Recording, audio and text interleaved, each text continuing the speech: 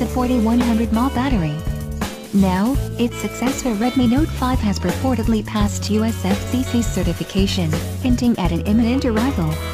The device's price, specifications, and release timeline have also been revealed. The reported USFCC certification was first spotted by the leaker. The smartphone is expected to be priced at Rs 10,999 for the 32GB variant and Rs 12,999 for the 64GB variant. The Redmi Note 5 could flaunt a 5.5-inch Full HD display with Corning Gorilla Glass 4 protection. It is expected to be powered by a 2 GHz Qualcomm Snapdragon 652 octa-core SoC or 2.1 GHz MediaTek Helio X25 deca-core SoC.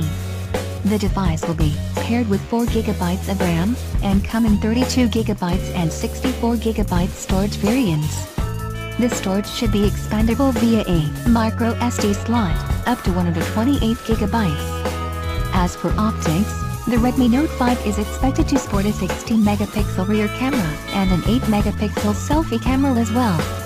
It should pack a 4000 mAh battery with support for Quick Charge 3.0.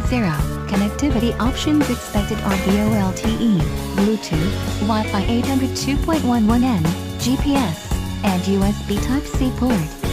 It should run on Android 7.1 Nougat-based MIUI 9, and whenever it arrives, it should be made available in gold silver, and black variants.